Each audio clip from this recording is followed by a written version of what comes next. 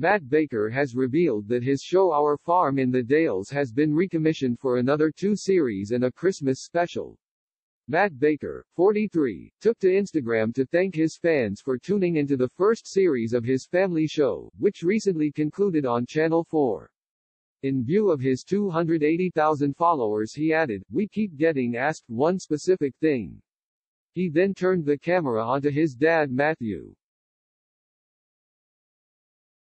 who revealed they had continuously been asked whether there will be another series of the show.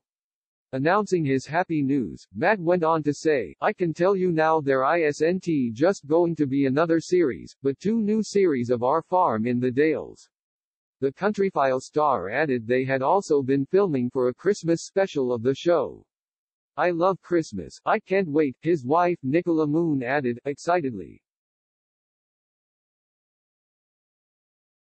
Matt went on to jokingly mock his dad's beard, as he referred to him as Santa Claus.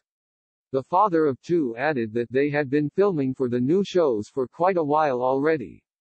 Turning the camera onto his mum Janice, he said she was back in the field where she belonged, following her injury. Matt went on to ask fans what they would like to see more of in the new series. He concluded his post, adding, all will be revealed on More 4 later on in the year. But for all of us, for now from the Dales, bye. Many of his fans flocked to his post to express their excitement for the new shows. Russell Davies commented, Aw amazing. Congratulations. A second wrote, Yay, lovely family. I'll be happy to see any part of your lives, keep it lovely and real as you always do. A third added, Fantastic. Can't wait to watch. Yay. The whole family can't wait XX, a fourth penned. The series gave fans a look into an emotional period of Matt's personal life.